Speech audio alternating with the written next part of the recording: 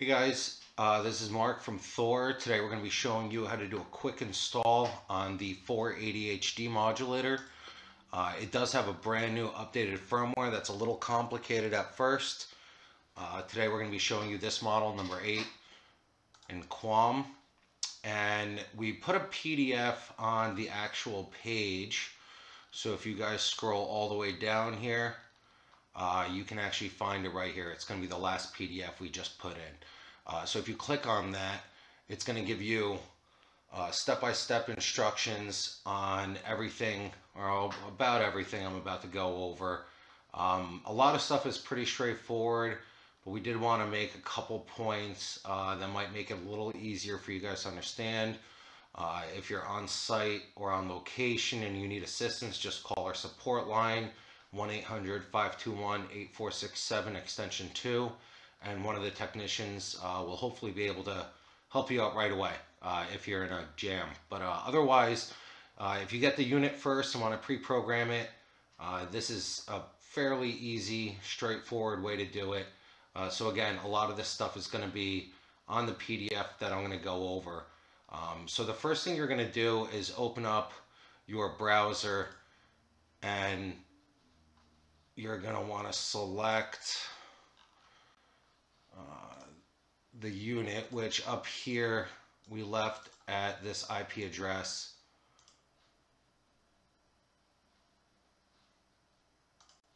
And this is going to be our splash screen. All right, so nothing new here. So when you click on encoder, Again, this is the four channel and you only have two input options. So once you click on the first one, you're going to go to channel one and you're going to have two HDMI inputs here. Okay. And from here, you can adjust whether you want MPEG 2, H.264, your interface, uh, your input, your resolution. You can actually select if you like. A lot of stuff is just auto. And again, the vast majority of you are going to be needing AC3 and MPEG 2 if you're in North America like we are.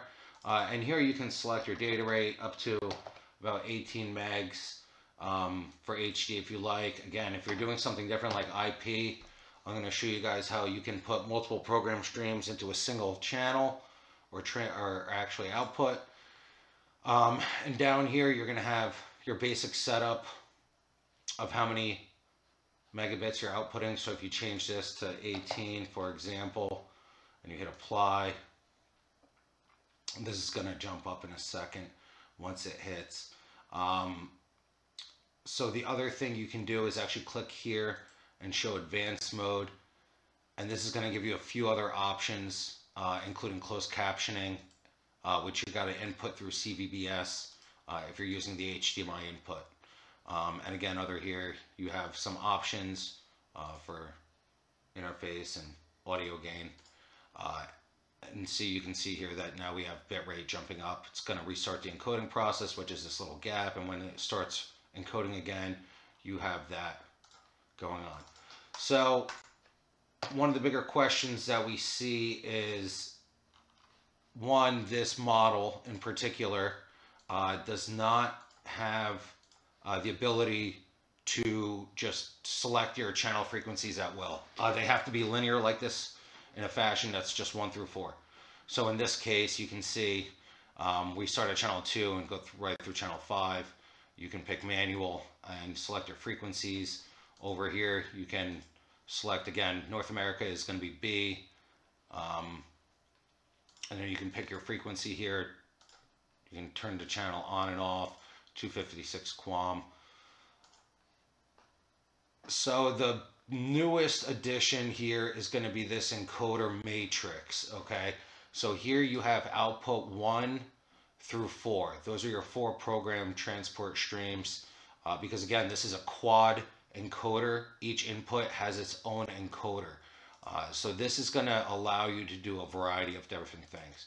So the first thing I wanted to show you is that if you have, let's say this output stream set to one, you can actually see all your inputs here, okay, and select them all. And then you can actually go ahead and refresh the output. And now all four programs on transport stream one are going to go to the output. So what does that mean? This means that you can actually put four channels or four programs in one frequency, which would be one RF channel.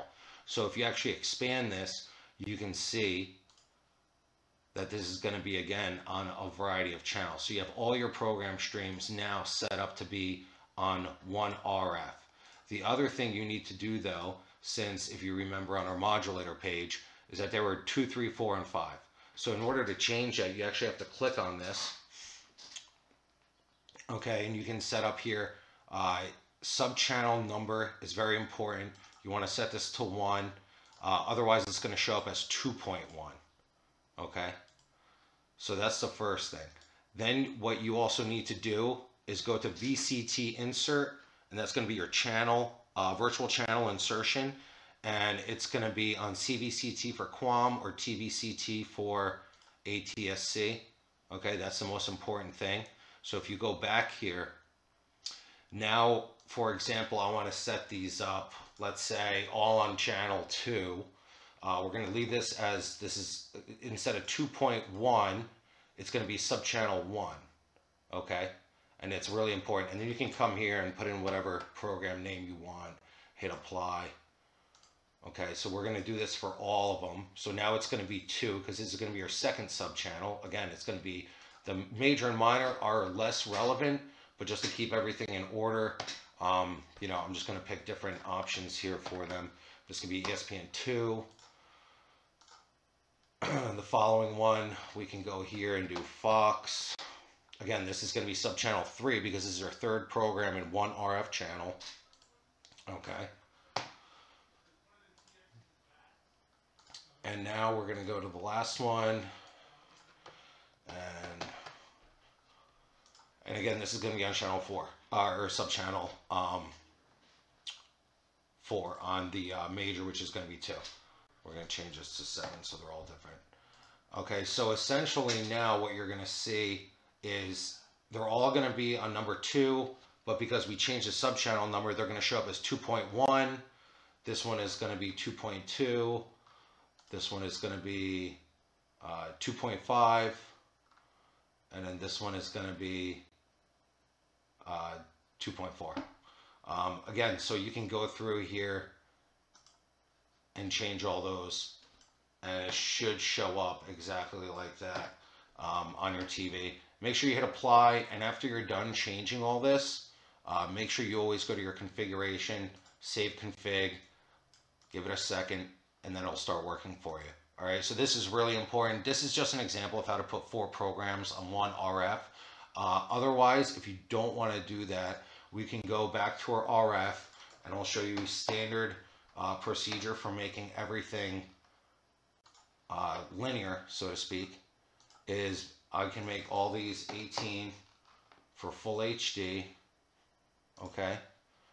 And what we're gonna do is now, instead of putting them all on one RF, we can do two and two,